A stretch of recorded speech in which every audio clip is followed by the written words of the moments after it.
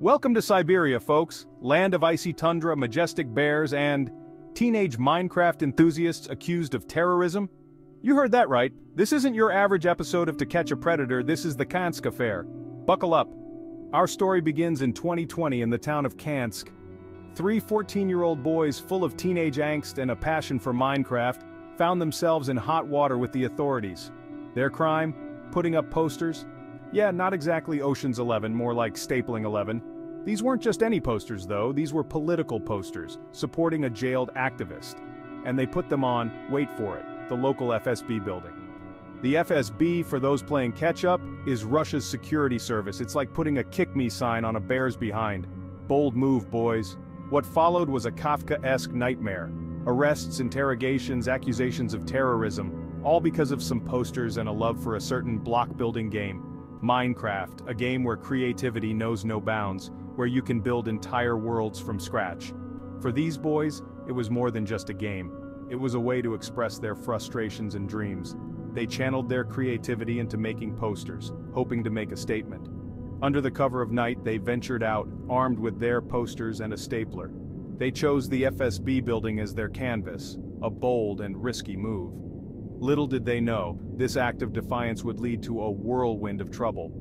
The authorities were quick to respond, and the boys were soon arrested. They faced intense interrogations with questions about their motives and connections. The case went to court, and the boys were accused of terrorism, a charge that shocked many. The news spread like wildfire, sparking debates and discussions across the country. Supporters rallied behind the boys, arguing that their actions were a form of free speech, Legal experts weighed in, questioning the severity of the charges. Even the Minecraft community got involved, showing solidarity with the boys. After months of legal battles, the boys were finally released, but the ordeal left a lasting impact.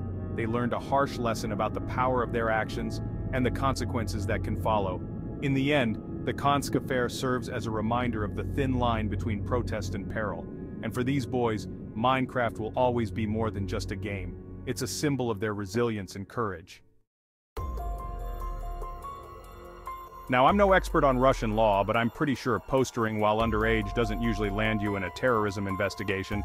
But these weren't your average teenagers, according to the FSB. These were dangerous dissidents, radicalized by Minecraft? Apparently building virtual worlds and blowing stuff up in a game is a gateway drug to real-life terrorism. Who knew? The boys, Dennis, Bogdan, and Nikita, were accused of being anti-government anarchists. Evidence? Well, they talked about anarchism online, and listened to rebellious music, you know, typical teenage stuff. But for the FSB, this was enough.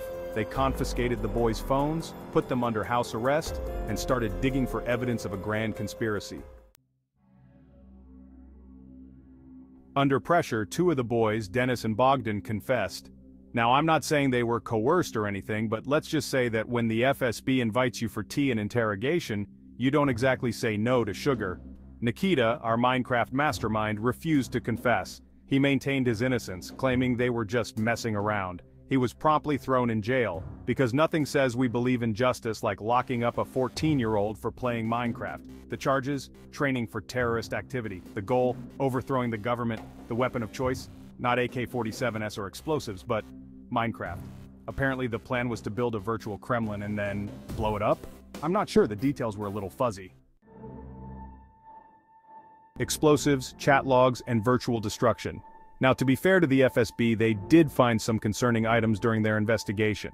We're talking homemade explosives, but we're not talking sophisticated bombs here people, we're talking more like glorified firecrackers. These were rudimentary devices, the kind you might see in a high school science experiment gone wrong. They also presented chat logs of the boys discussing anarchism and GASP, the works of Peter Kropotkin. Because nothing screams dangerous terrorist like a deep dive into 19th century anarchist philosophy.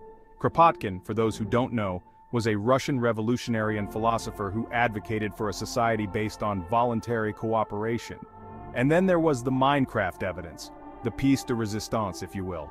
The prosecution presented this with a level of seriousness that would make you think they had uncovered a major terrorist plot. The prosecution presented the boys' virtual recreation of the FSB building in Minecraft, which they then blew up, in the game. Yes, you heard that right. In the game. The prosecution argued that this was clear evidence of their intent to commit real-life violence.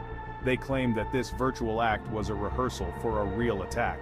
The defense argued that it was Minecraft, a game where creativity and destruction go hand in hand, a game where blowing stuff up is about as common as finding diamonds. In Minecraft, players build and destroy structures as part of the gameplay. It's a sandbox game, meaning the possibilities are endless, and blowing up virtual buildings is just one of many activities players engage in.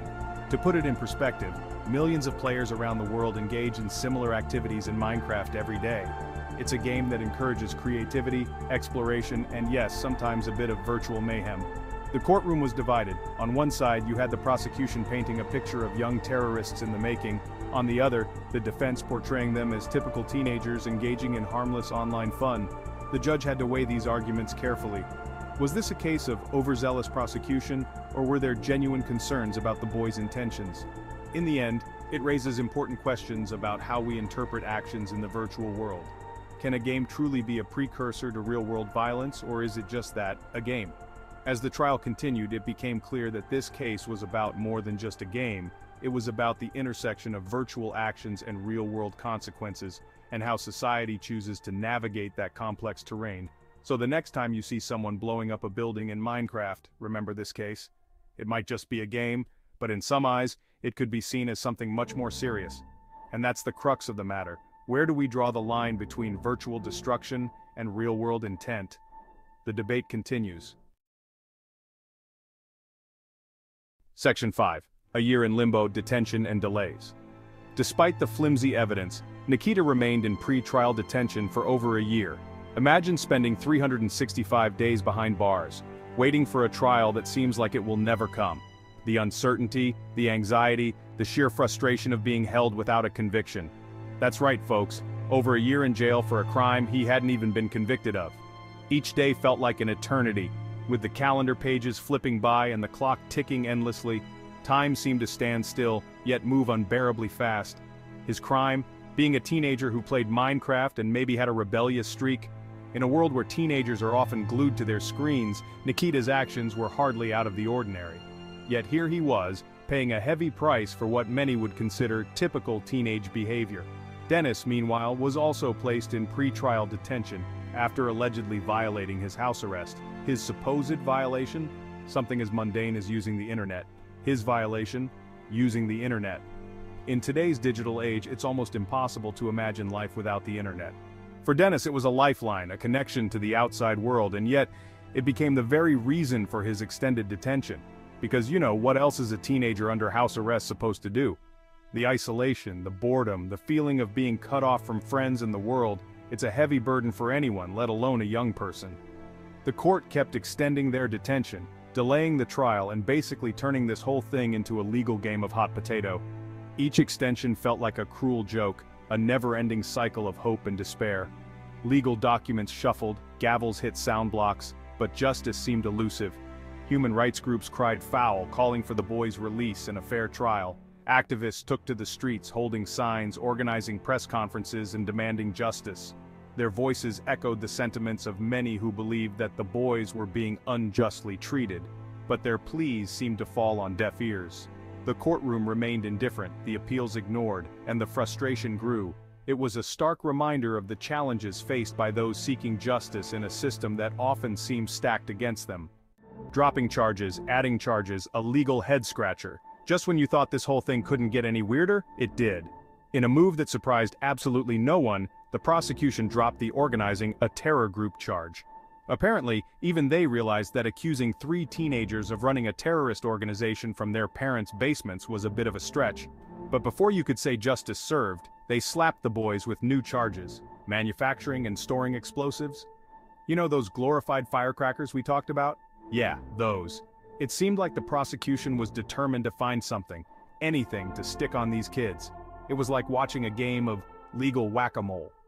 From house arrest to military court, after almost a year in pre-trial detention, Nikita was finally released, but his freedom was short-lived, the charges were still pending and the trial was moved to, wait for it, a military court. Now I'm no legal expert but I'm pretty sure playing Minecraft and making smoke bombs doesn't usually qualify as a military offense. But hey, what do I know? The trial began, and the world watched in disbelief as these three teenagers were put on trial for essentially being teenagers.